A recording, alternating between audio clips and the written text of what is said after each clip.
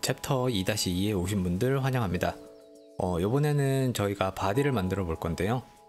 사실 body는 굉장히 짧고요. 별로 할 게 없어서 굉장히 쉽게 하실 수 있을 겁니다.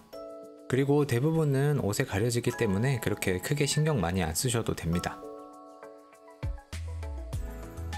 어, 말씀드린 대로 어, body 이 torso라고 하죠. 토르소라고 하는데 이거는 그냥 덩어리 큰 덩어리 두 개가 이렇게 있다고 생각하시면 됩니다.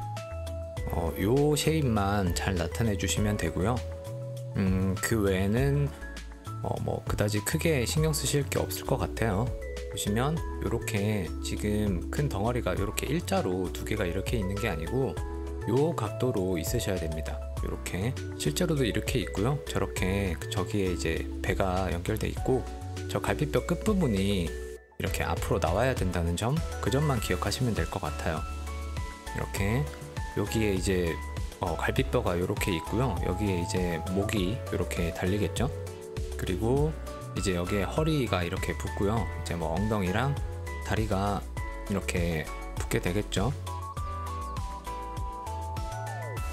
자, 그래서 어, 기억하셔야 될 거는 여기는 이렇게 나오고 여기가 들어가고 엉덩이 나오고 뭐 이제 어깨 쪽이 다시 뒤로 이렇게 빠지고 이 정도만 기억하시면 될 것 같습니다. 마지막으로 한 번만 더 일자가 아니고 이렇게 기울어야 됩니다. 뭐 실사 모델링 같은 경우에는 뭐 해야 될 게 많고 좀 복잡하고 어렵지만 이건 저희가 좀 생략도 많이 하고 비율도 많이 낮췄기 때문에 그렇게 많이 뭐 할 게 없으실 것 같고요. 어, 그러면 그냥 이제 시작해 보도록 하겠습니다.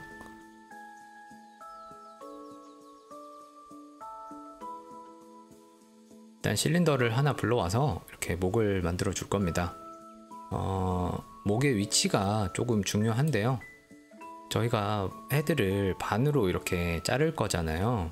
뭐 딱 반이 될지 어떻게 될지는 모르겠지만 일단은 귀를 기준으로 반으로 자른다고 생각을 하면 목이 어, 그 잘리는 중간에 있으면 좀 애매하겠죠. 이런 식으로 반으로 할 건데 목이 저렇게 겹쳐버리면 나중에 애매해지기 때문에 이렇게 좀 앞으로 당겨서 최대한 간섭이 안 받도록 위치시켜 주겠습니다. 그 다음은 이제 갈비뼈 부분을 이제 만드는데 어, 큐큐브를 불러와서 대강 모양을 잡아주고 시작을 하겠습니다. 이렇게 꼭 하실 필요는 없고요. 그냥 sphere를 불러오시든 뭘 불러오시든 불러오셔서 그냥 저 모양만 나오면 됩니다. 자, 이런 식으로 아까 제가 말씀드렸다시피 이렇게 살짝 기울여서 만들어 주시고 그 다음에 DynaMesh나 뭐 여기서 QCube에서 어, subdivide를 올리셔도 되고요. 조금씩 어, 발전시켜 나가면서 이제 모양을 잡아 주시면 됩니다.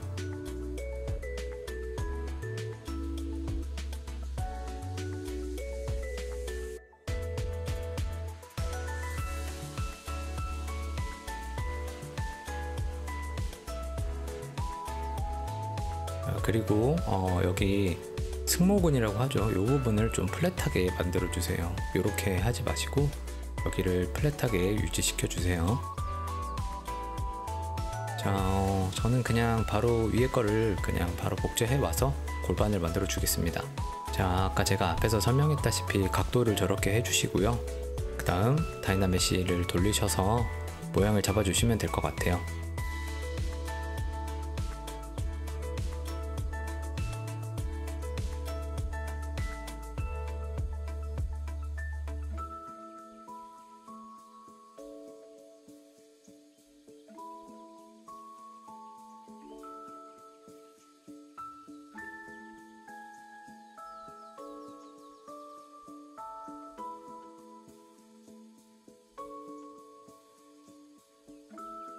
자 보시다시피 저희가 처음에 말씀드렸던 대로 여기 허리 부분이 살짝 들어가 있잖아요. 좀 많이 과장을 하면 좀 더 스타일라이저한 그런 모델링이 될 수도 있고 그건 이제 각자의 스타일이나 판단대로 하시면 될 것 같고요. 저는 너무 과하지도 않고 좀 뭐 그렇다고 없지도 않은 요 정도 상태로 마무리를 하겠습니다. 자 말씀드렸던 대로 몸통은 별게 없죠? 뭐 저랑 비슷하게 안 나왔거나 저랑 똑같이 안 나와도 괜찮으니까 끝까지 포기하지 마시고요 틀린 게 아닙니다. 끝까지 해보세요.